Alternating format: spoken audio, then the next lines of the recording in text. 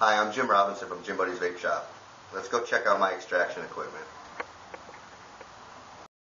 If you're ready to take your extraction to the next level, we've got open extractors, vacuum chambers, closed loop system. We've even got vacuum ovens on display to show you, and one ready to take with you.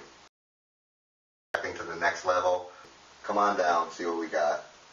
And we've even got one ready to go home with you.